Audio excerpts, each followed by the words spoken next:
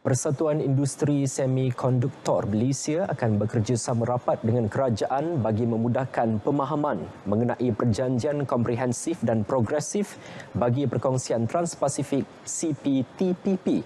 Inisiatif dilaksana memandangkan sektor elektrik dan elektronik menjadi antara penerima manfaat perjanjian.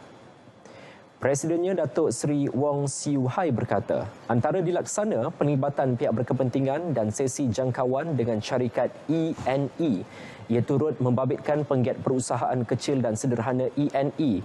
Menurut Dapatan Analisis Kos Faedah terhadap potensi impak CPTPP mengenai ekonomi Malaysia dan sektor ekonomi utama, pembuatan ENE adalah sektor ekonomi yang bergantung kepada perdagangan pada masa sama mempunyai hubungan kukuh dengan rantaian nilai global.